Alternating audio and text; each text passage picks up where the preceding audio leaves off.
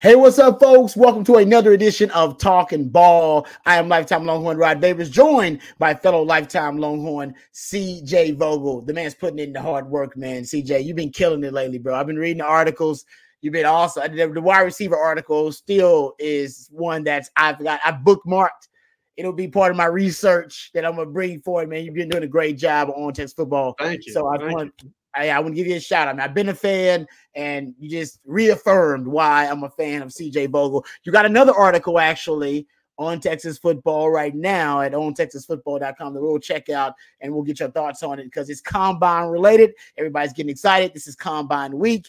Yes, at one time I went to the combine. I was a part of the experience. So I'll give you some of my personal thoughts about that uh, that meat market they call a combine up there in Indianapolis. Eleven Longhorns represented, so it's fun times. So we'll get into that. Uh, before we get started, let's talk about uh, our sponsor, our wonderful sponsor, uh, John Donovan, president of Longhorn Wealth Management Group. We are so very grateful for John's support. John is a proud Texas Exes Life member who has served over 15 years, folks, as a Texas Exes board member. His wife and all six of John's siblings are also proud UT grads, lifetime Longhorns, just like my man CJ Vogel as well. Uh, this explains why John has dedicated his firm to providing total wealth management for Texas alumni, employees, family, and friends. Also, you want to make sure that you're a part of that group. And hey, hey, you ain't got to be a lifetime Longhorn to be able to to uh, take advantage of John's services. John wants to remind all the Longhorns out there, he's a certified financial planner who has spent over 30 years, folks, 30 years, three decades providing investment, retirement, insurance, and estate planning services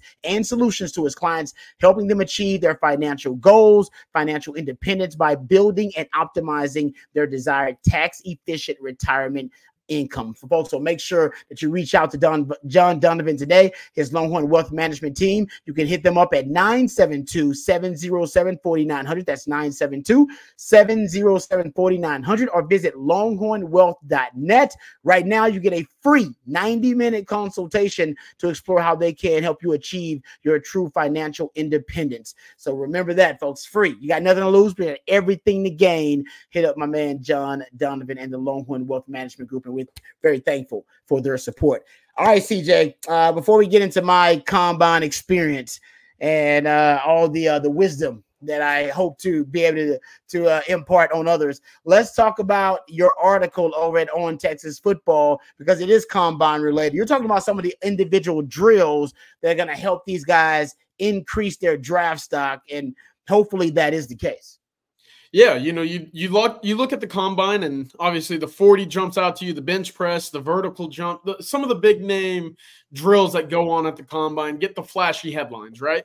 But for a number of the Texas Longhorns that are hoping to get drafted and hear their name called in the draft, you know, there might be a, a few other you know drills that go on uh, at, at, in Indianapolis that could certainly boost their their draft stock just a little bit. So I I went ahead and went through all the prospects and which drill I think you know could certainly be uh, one that NFL scouts and executives are honing in on just a little bit more when it comes to their draft profile. And so I, I went through it, and you know it was a fun exercise because you get to see these prospects holistically, their strengths, yeah. their weaknesses, and obviously what question marks scouts might have about them. And it was fun.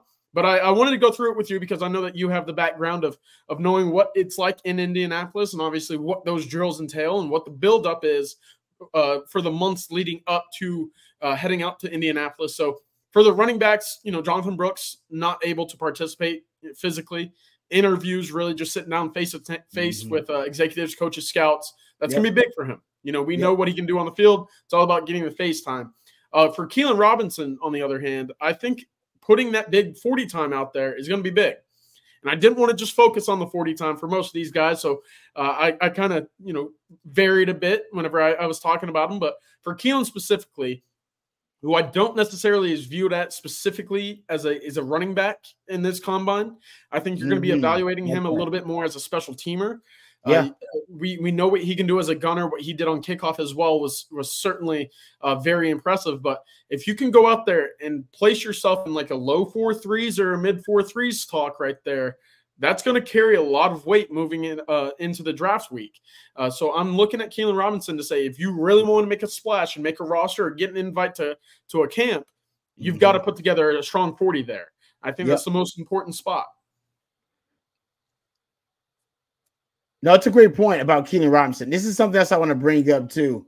And I have to dive deeper into this. I think every player is affected by external macro factors in their draft stock. I don't know if you've read the report, but the NFL is entertaining um, using the XFL kickoff and kick kickoff return rather than obviously the traditional kickoff because the, the NFL is concerned that basically their kickoff has become moot, that the kickoff and kickoff returns don't matter anymore. Only 22% of kickoffs were returned last season. Um, and all 13 of the kickoffs in the Super Bowl were touchbacks. So teams don't even they they shadow they essentially shadow ban the kickoff in the NFL. It doesn't matter, but but it, it is a very violent play. By the way, I got hurt on kickoffs. I got I had, had shoulder surgery because I had to go blow up a wedge on the kickoff, which is now banned in the NFL. They can't even have wedges because how dangerous they were. But when you're tasked to blow up the wedge, you blow up the wedge. And the wedge usually was either a couple of linebackers, a linebacker, and a tight end. Sometimes they put a really athletic the, offensive lineman out there. The big boys back there. Yeah. Oh man, bro, I can tell you, CJ, when your coach was like, "Hey, if you don't blow up that wedge, you're gonna get cut."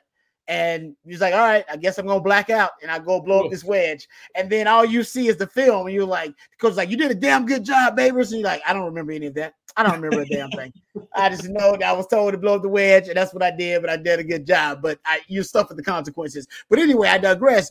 The NFL now, the XFL model, uh, they kick from the 30 yard line um, and the rest of the kickoff team begins at the 35 yard line separated from 10 members of the receiving team by five, only five yards. So you don't yep. have the car collisions, high speed collisions that you usually do. So it's much safer. And apart from the kicker and the returner, none of the special teamers in the XFL kickoff are allowed to move until the ball is fielded. So when the ball is caught, that's when the guys who are only, you know, they're only five yards apart, that's when they can go block each other. And I think the numbers are uh, that 90% of XFL kickoffs are returned. 90%. And the NFL oh. is like at the NFL is like 35 to 36 percent.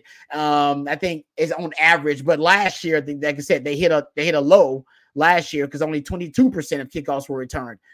If the and by the way, there's a movement. They got to get 24, I believe, out of the 32 votes of the teams to pass a new rule or to change a rule um, there is a really good chance that the NFL they don't have all the support yet, but they can get it if they change that rule before Keilan Robinson. I think in March, you know, they're gonna propose a new rule change. I don't know if they'll agree to it, but if it passes before Keilan Robinson, you know, I mean, is drafted or is an undrafted free agent, whatever it may be, it could be huge for his value. Definitely. Immense for his value because then some teams are going to go, all right, damn, we actually can get some hidden yardage on kickoffs now. All yeah. right, you know what? To hell with it. If maybe we'll keep a guy, a couple of guys on our practice squad potentially that are just specialists that we could use in a complementary fashion in other ways. Right now, they don't do that because there's just not enough room on a roster and roster spots are too valuable. But remember, they expanded the practice squads. You can stay on practice squads longer and specifically teams can bring you up the day of the game on practice squads now because they changed the rules. If you're a team that values special teams and the return game and hidden yardage, he's a guy that you might consider as a priority free agent or something like that. So these are the external factors that are pushing and dropping draft stock with a lot of players, including the Longhorns. Yeah, hundred percent. I'm, I'm with you. I think that's interesting if they do adopt that kickoff not only for for Keilan Robinson, but we'll get to Ryan Watts a little bit later, a guy like him as well. Uh, but for the next guys, the next group right here, we'll stick with the playmakers, the wide receivers and the tight end. Uh, for Xavier Worthy, I had the wide receiver gauntlet. We know he's going to test very well yeah. in the 40. How yeah. well can he kind of run straight through that gauntlet with the catches on each side from those quarterbacks, showing off the hands, like kind of erasing those question marks is going to be big for him because we know he's going to test very well. Uh, again, almost completely opposite Adonai Mitchell, who had one of the best drop rates of any of these top elite wide receivers in this yeah, draft. What can he do in the 40s? If he can kind of clear that four or five, mid four or five conversation, I think he could sneak his way into the back end of that first round. So that'll be interesting. That top end speed is really what teams want to see from AD Mitchell, I think. And I I, I think he's going to put on a show there. It's interesting. No, no, no, I love it because I the, people keep telling me that AD Mitchell can run a 4-4. Yeah. I want to see it. I want to see it. That if he runs a high, if he runs a high 4-4, he's a first round pick. Definitely. I, I think if he runs a high like 4-4-8, four four four anything four four ish. I think he's a first round pick. If he runs that four five, it's got to be low four five, like you talking about four five one, four five yep. two, something. Like it, still, I think it'll that may drop him into the second round. He got to. I think what he's got to do is he's got to dispel any notions that he doesn't have the straightaway speed, and a four four of any kind will do that. It's interesting. You know what? Let's talk about this real quick because I, I guess I'm going to go on a rant. Man, the NFL is so full of it. They so they so full of it. And the truth is, NFL coaches are starting to figure it out, right? That you guys turned the combine into a TV show. And therefore, there is less and less, you know, credible data that I actually can extract from the, the combine because of what you've turned it into, the underwear Olympics.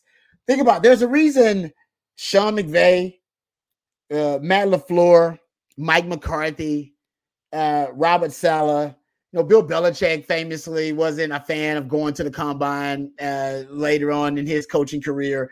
My man Kyle Shanahan did he didn't go in 2022. He doesn't go all the time either. It it it's such a TV show now, and the 40 yard dash the prime example. I'll get take, take Okay, so they're a laser time. They have laser technology to find out how fast you run. That's what they actually go on at the NFL. But do you know there are still NFL scouts with, with stopwatches in their hand? They don't trust. And they're like, "I got the unofficial time." What the hell are you talking about? A, a, what? Are you, what? what? unofficial time? There's a laser time technology. We're talking about uh, using AI, using all sophisticated technology to get the 40 times. Like, oh, I got it right here. I got it. I got it. I'm good. There is this I don't know, it's this antiquated kind of, I don't know, old school mentality in the NFL. And the combine's a prime example. Think about it, guys. Now, and Trey Lance, actually, I remember famously Trey Lance and a lot of guys. Lamar Jackson refused to run the 40, right? Uh, Trey Lance. There's some guys. By the way, Marvin Harrison Jr. is not even going to the combine. He's he's not going. He decided, now nah, I'm good. I ain't going. Y'all come see me. I'm good. I ain't going you know, there's a famously a story uh, that Dan Neil tells that he got to the combine and they they had him like in a line. They were in a line because you had to register and everything to combine. And Orlando Pace walked in and was like, "I ain't waiting no lines. I'm going. I'm going back to the crib because he was." and he decided to leave. He's like, "Nah, I'm good. Y'all come see me." Right. The combine is just a TV show and and now it's been exposed as that. You have fewer and fewer quarterbacks throwing at the combine because they're gonna make you throw to a receiver that you ain't never thrown with before. All right, and he's got no chemistry with. It's like, yeah, throw that six route. Oh, you don't look. And then like- everything's going to be dissected on Twitter and on the TV shows. if you miss two throws by a little bit, you can't throw the ball deep. Everything's dissected and, and, overblown to an extent where you know the the it's not worth it. The, yeah, you know it.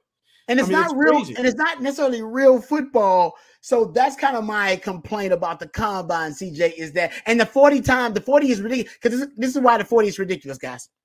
We have GPS trackers now.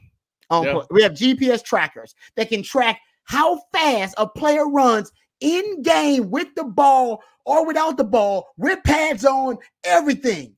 Why the hell are we still running a 40? You you know you know what football speed is. We've solved it. We got it. We don't know exactly what determines football speed, what's in the criteria, but we can document it. It's just you can see it. 20, he goes 20 miles per hour. He can run. Okay, good. He's he's fast enough. And yet they still want to see you run straight ahead 40 yards when you never in football ever run straight ahead 40 yards. The, the, the well, why? It's a TV show. Yeah. And the main event of this TV show is the 40. Yeah. And it's like, it's the, but it doesn't apply to football. It's not applicable. And that's why the combine, ladies and gentlemen, is ridiculous. We call it the silly season for a reason. Rod, it's it, I think you hit the nail on the head when you call it antiquated. You know, if if anybody ever watches tennis, and there's the the ATX Open going on Austin right now that I'm hoping to stop by later in this week. But you you you get those close calls on the line, and you go to the monitor, and like that, they let you know where the ball hit on yes. the line.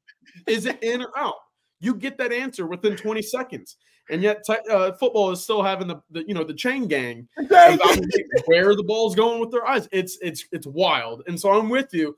The antiquatedness of football with all the technology in the world. You know, you talk about the catapult vest and everything that goes into telling you how yeah. fast and, and explosive someone is. We're still sitting here wondering, you know, why it's so outdated. But but hey, to some of these guys, show. they need that, right? Exactly. Like, you like it, CJ. You like it because you'll be watching every second of that combine. I know you are because you like be sitting it. right out here. Yeah. Oh yeah. I cannot wait for it. Yeah, and that's why the NFL is brilliant. By the way, guys, they're brilliant I'm because you. yes, because the chain gang. You know what the chain gang represents? Drama, build up, oh, it's so dramatic when they stretch the chains out. And it's like, did he get the first down? Oh, oh. The I was NFL looking to see is- if I had an index card next to me, but I, I, don't. You know, that's the that's the, the most famous one. Yeah, they, they, they dude, that's a reason they're the number one TV show in America. They know how to do it. They know how to do it. Uh, anyway, sorry, getting back to it. That's my random rant, though. But your, I would say your your your take on that's my take on AD Mitchell. Your take on Xavier Worthy, right on, right on. I if he he can I, I would like him to go through the combine without a drop. That should be his goal. Absolutely. In any of the drills, no matter what they are, no drops. It that doesn't matter how question marks around him 100 percent Exactly. Honestly, he should refuse to run the 40. He's like, nah, I ain't run no 40. I'm the fastest player in college football. Have you seen it? Go like real analytics said I was clocked as the fastest player in college football in 2023. Why do I need to run the 40? That's all I'm gonna do is actually either I'm going to confirm that I'm already fast, or my draft stock is going to drop when I don't when I run a four four flat. And you're like, oh, I thought yeah, he was going to run a four three five, and it's like, what? I, mm-hmm. I wouldn't even run it. I'd be like, no, I'm good. I'm the fastest player in college football. That's what I keep saying. I'm the fastest player in college football. Check it. Done. I, I'm with you because there's a lot of conversation about the draft stock hurting as a result of going to this and putting yourself in a conversation.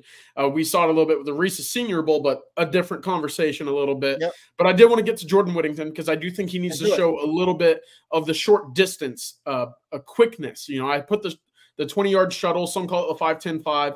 Uh, just how well is he able to get in and out of his breaks a little bit? I think he'll do well in the wide receiving uh, drills, running routes on air against those quarterbacks. Obviously, getting the chemistry there is going to be big, but you didn't get to see him do that in one on ones against top uh, cornerbacks in the Reese's Senior Bowl.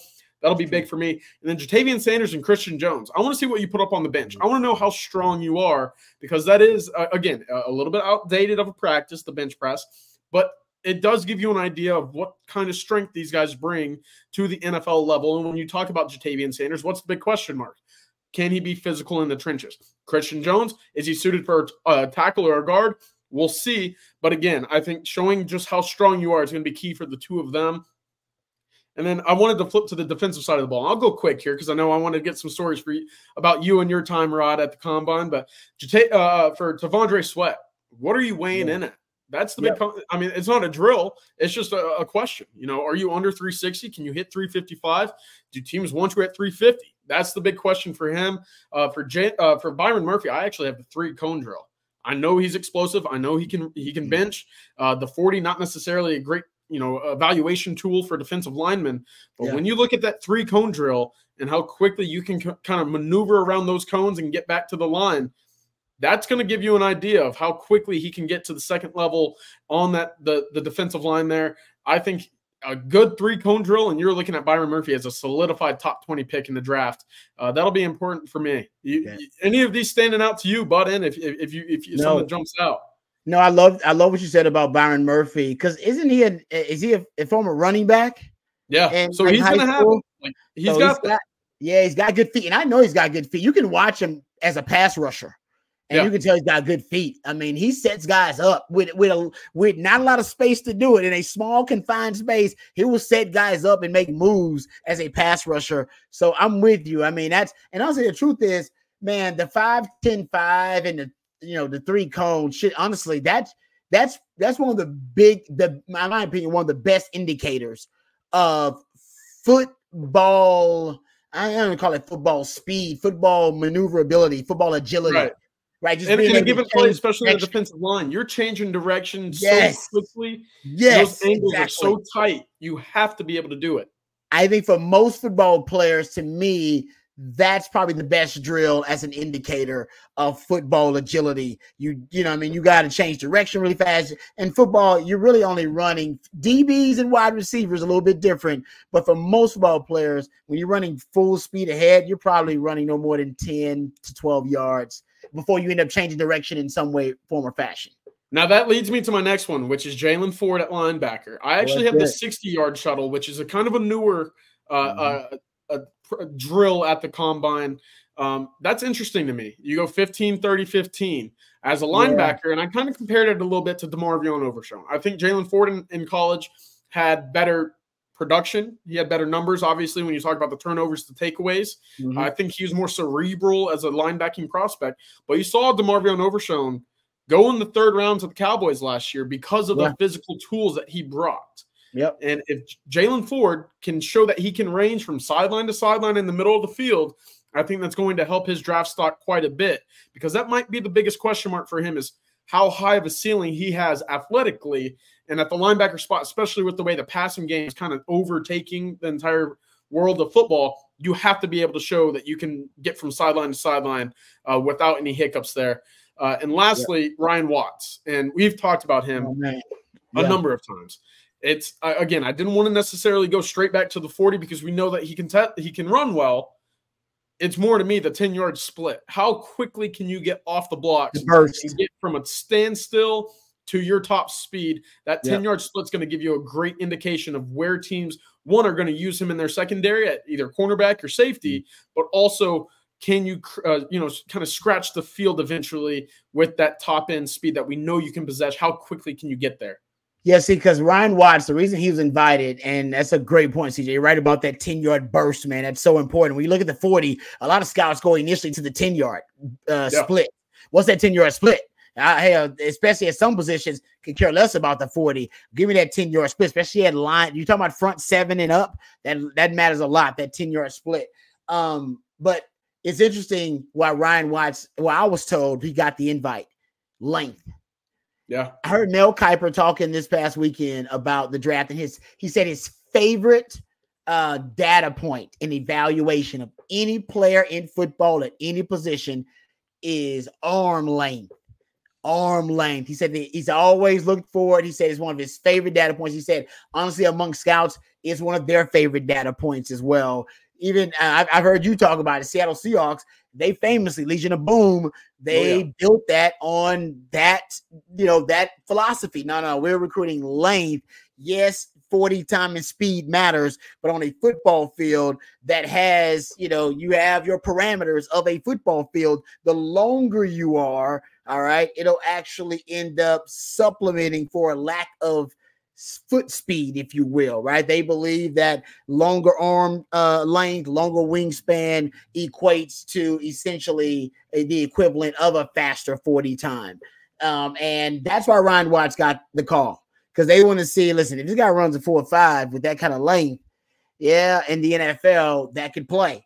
All right. And we can, and now I'm telling you, man, with the practice squads expanded and you can put guys on practice squads longer, developmental projects are, be, are going to become more of a thing with Absolutely. the NFL. 'Cause- Yeah, because they can put a guy on a practice squad for a couple years and go. I love, I love his raw materials. Let's just see if with NFL coaching, without having to go to class, focusing on football, if this guy can take his game to the next level. And I think Ryan Watts could be one of those guys comp- at the safety position. Matter of fact, Christian Jones. Speaking of wingspan and arm length, he's one of those guys the NFL loves because of his wingspan, his arm length, and raw materials too. That's a good point. And Yeah. while these are all events that we'll get to see starting on Thursday, going into Saturday, uh, it's you know a big job interview for these guys.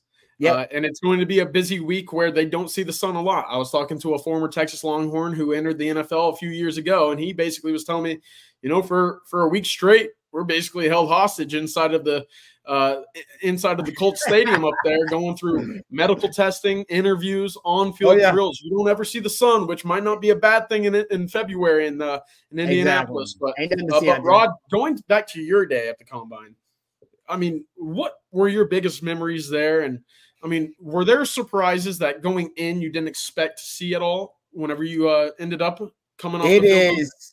No, it is. That's a great question. Listen, it's the most bizarre job interview that you've ever been around. I mean, eh, maybe, maybe interviewing for the CIA or maybe for the FBI could be a job interview as invasive and as absurd and obtuse as yeah. going to the NFL Combine.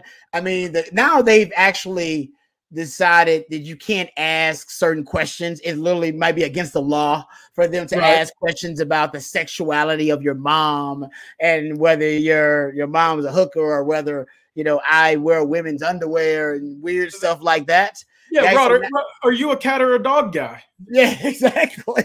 They're funny. You know what? Actually, some of that may be crossing the line. We probably shouldn't do that. There's probably some laws against that, especially since the. But this is the key, though. The key is as a player, you are in purgatory. You're not a part of the Players Association yet. So you don't have the Players Association to advocate for you or to fight for your rights. And you're no longer a student athlete. Yep. Right? You're none of those. You're in purgatory. So then feels like we do the hell we want with you. And that's why you get these kind of weird stories every now and then. Somebody walking out on the medical examinations, which, by the way, have y'all ever seen the movie Fire in the Sky? You ever seen the movie Fire in the Sky? I've not. This guy's about a guy who was abducted by aliens, and he recounts it, and it's a book, very detailed. It's famous for people who believe in aliens and that kind of stuff, yeah. um, and alien abduction.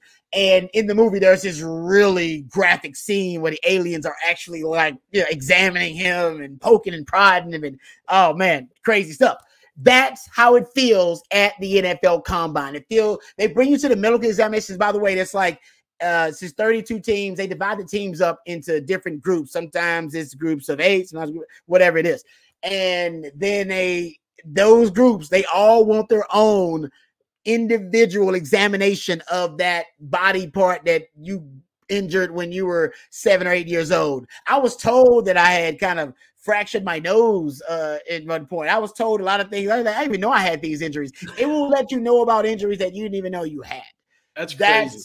Yeah, that's how that's how thorough they are when it comes to the NFL combine and the medical examinations.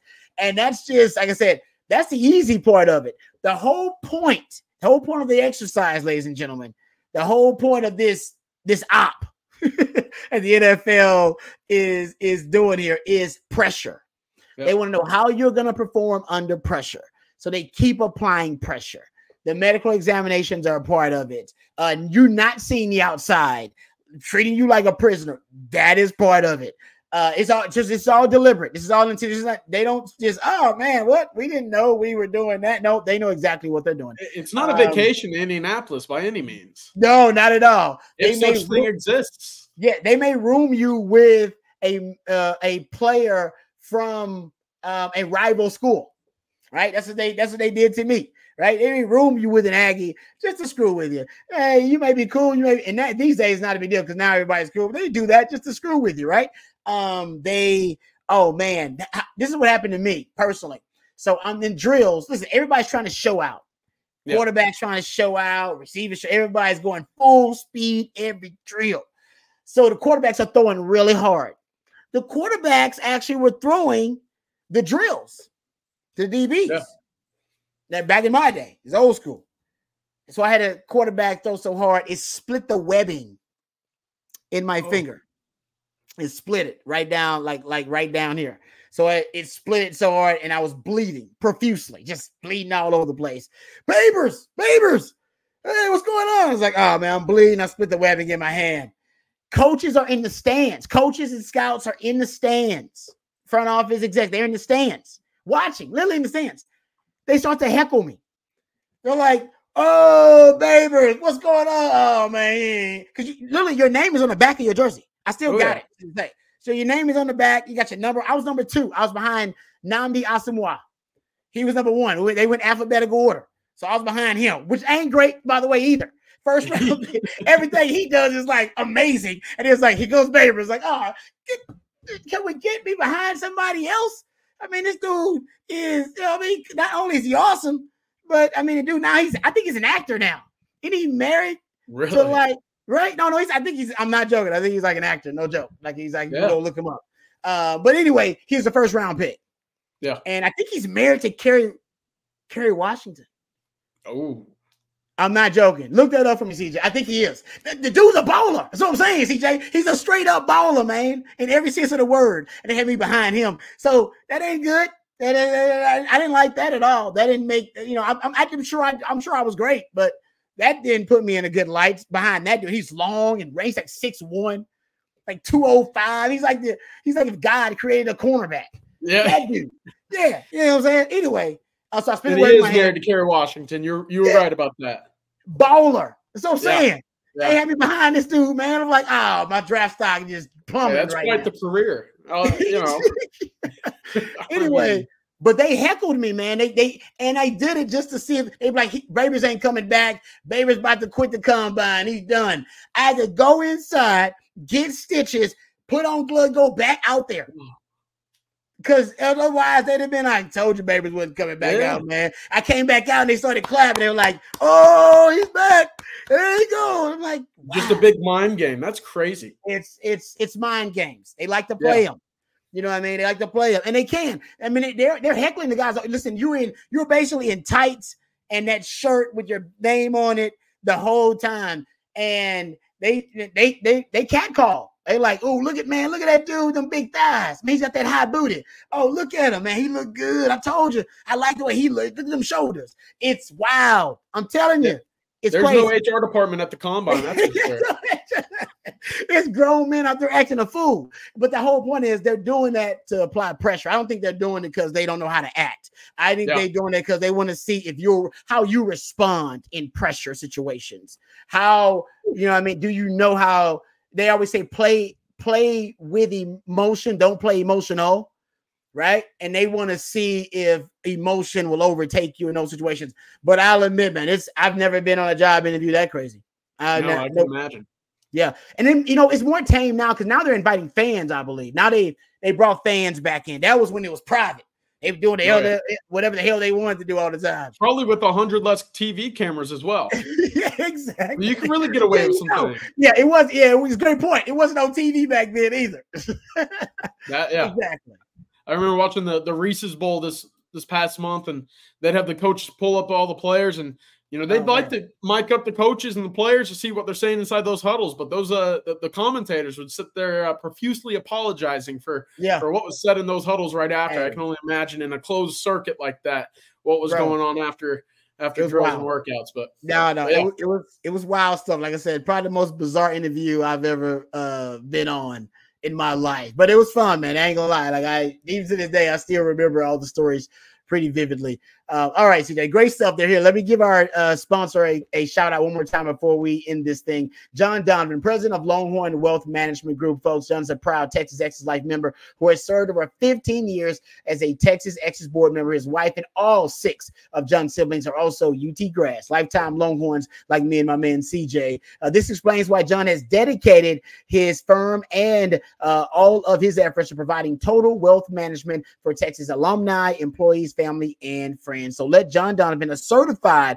financial planner who has spent over 30 years, folks, providing investment, retirement, insurance, and estate planning services and solutions to his clients. He can help you achieve your own financial independence by building and optimizing your desired tax efficient retirement income. So give him a call today, 972 707 4900, or visit longhornwealth.net for a free 90 minute consultation about how you can achieve your true financial independence. That's right, folks. So remember, uh, John Donovan and the Longhorn Wealth uh, Management Group. We appreciate their support.